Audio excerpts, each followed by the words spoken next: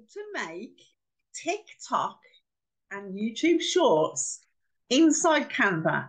You can do 10 of these a day. It only takes a few minutes. So I've recorded myself doing a promo for Builderall's Mega Bonus Bundle, which is only lasting a few days.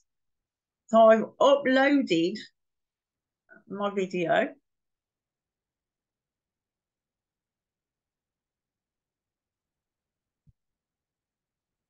and drag it across. Oh my god. Then you set the video as background. Okay, so now I would like the word bonus. So you go into elements and you type the word bonus. Whoops. So you can grab any one of put graphics. Okay, so I quite like this one. So put that anywhere you like. Now I want the word confetti.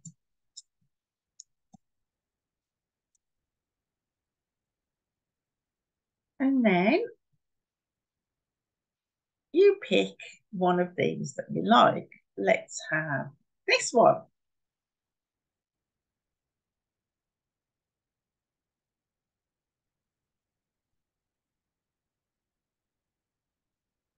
I actually quite like, I'm going to put some eyes on it. I like this one here.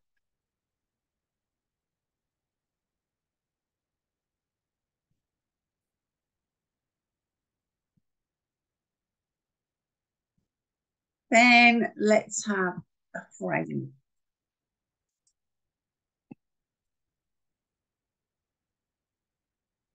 You need a portrait frame because it's tall and big.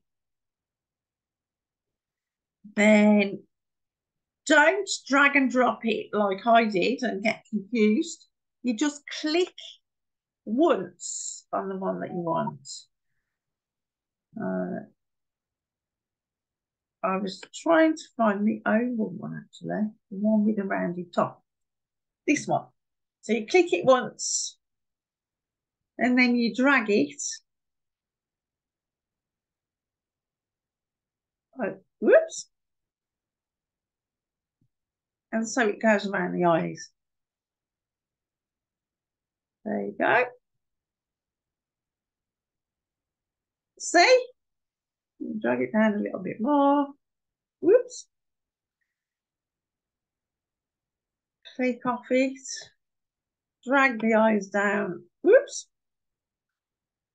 In fact, I'll do leave it like that. Then you download it